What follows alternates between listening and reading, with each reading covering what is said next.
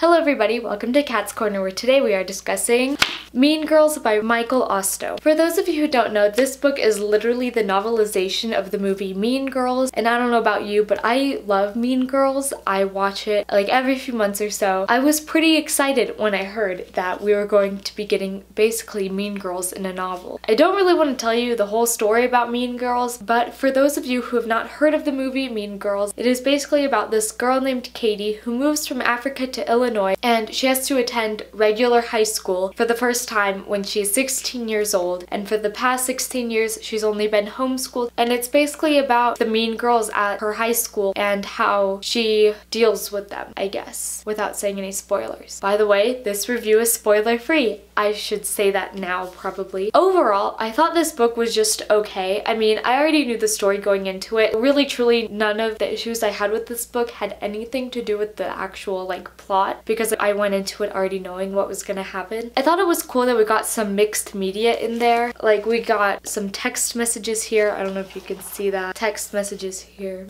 We have some lists and stuff. I thought those aspects of the novel were really cool, but overall this book was okay to me. I wasn't a huge fan of the writing style. I would give this book like a 3 out of 5 stars. The fact that I couldn't really differentiate the different characters because this book changes its point of view a lot throughout the book and there were some characters that I had to go back to the beginning of the chapter and be like whose point of view am I reading again because I just couldn't tell them apart. I found Cady's point of view to be pretty annoying which is kind of ironic because we do get some of her point of view in the movie. Actually the whole movie is from her point of view. I found it to be very interesting that I couldn't stand her at all reading this book because I really enjoyed the movie so that was kind of interesting. I think the next time I watch the movie movie, I may have different opinions on Cady than I did before I read this book. Honestly, Janis's point of view I felt was like a more sarcastic version of Cady's point of view. I couldn't really differentiate between the two, and you're gonna hear me say differentiate between the two characters a lot. Damian's point of view was very similar to Janis's. Also, Aaron's point of view reminded me of Cady's, and I couldn't stand him reading the chapters or the sections from his point of view. I hated reading Cady and Aaron's point of view. I didn't really mind reading Janis's point of view because she had some of that sarcastic humor that she does in the book, or that she does in the movie. And Damian's point of view was just okay. I don't really have any thoughts and I don't really know how to feel about it, honestly. And then we have the three plastics. Gretchen's point of view is hands down my favorite in this novel. She was different from the others. I could immediately know whose point of view I was reading when it was Gretchen's chapter. I really liked her chapter, which is so weird because Gretchen is one of those characters in the movie that is very 2D. It was hands down my favorite point of view in this novel and I kind of wish wish we got more of it. It was a lot of fun being inside the head of like the wannabe mean girl, the one that wants to be Regina but at the same time is terrified of her. And it was really interesting reading her point of view. Then we have Regina and Karen. Once again, much like Damian with Karen's point of view, I don't know how to feel about it. We didn't get much of it at all in this book. And I really couldn't tell it was her point of view until she spoke because none of that airiness that we get in her dialogue throughout the movie and the book never translated to her point of view. And I kind of wish we would have had more of her spacey personality in her actual thoughts instead of just in her dialogue. Regina was like a mix of the two plastics except she was a bit meaner. And some of her meanness was over the top. We all know Regina is a head mean girl and obviously she's mean, but in her actual thoughts, it was really over the top and I don't think like Regina would have constantly been making mean thoughts about everybody she walked by in the hallway all the time. And that's kind of what this book kind of made her point of view be, just walking by everyone and judging them and being mean. I don't know, she was like a really mean version of Gretchen and Karen combined. I'm not entirely sure to feel about it. I'm not a huge fan of her point of view at all. Like I said before, overall, I would give this book a 3 out of 5 stars. Would I recommend it? If you are a fan of the movie Mean Girls, then I would recommend it because it's fun to see the thought process of some of our favorite characters. But otherwise, I don't think I would recommend it unless you are a fan of Mean Girls. Let me know down below if you've seen the movie Mean Girls or you've read the novelization because I would love to know. And if you like this video, give it a thumbs up, and subscribe to my YouTube channel. I post videos every Thursday, and I'll see you in the next one. Bye! On Thursdays, we read books.